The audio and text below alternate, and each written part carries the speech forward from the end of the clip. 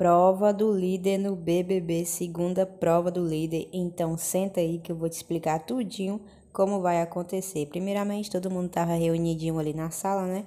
E o Thiago Life mandou eles fazerem dupla. Mas antes disso, Nego Di tinha que dar o seu veto, né? Ele é o líder da semana e vai ter que vetar uma pessoa. E para surpresa de muitos, olha só, Lucas vetado. Na verdade, surpresa é uma brincadeira, né? Porque todo mundo já sabia que ele ia vetar o Lucas. Bom, e como vai acontecer a prova? A prova é como se fosse o drive-to do Mac. A galera vai ter que montar o Mac, tá bom? A dupla. Uma vai pegar os pedidos, que vai aparecer no telão, daqui a pouco eu vou mostrar para vocês.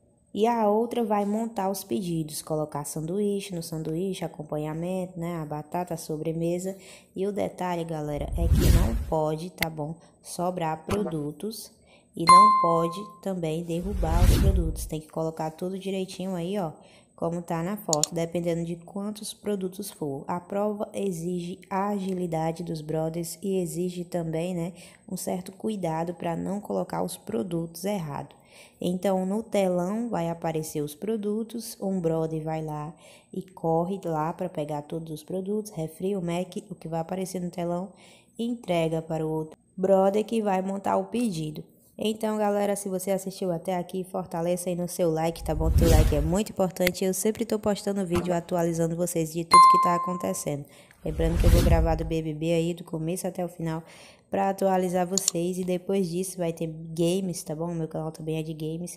Se você gosta, já se inscreve, deixe seu like tá bom? E não esqueça de ativar o sininho que é muito importante. Enquanto isso, a prova tá rolando e em breve a gente vai saber quem é o novo líder da semana. Não esqueça também de colocar aí nos comentários para quem você tá torcendo, tá bom?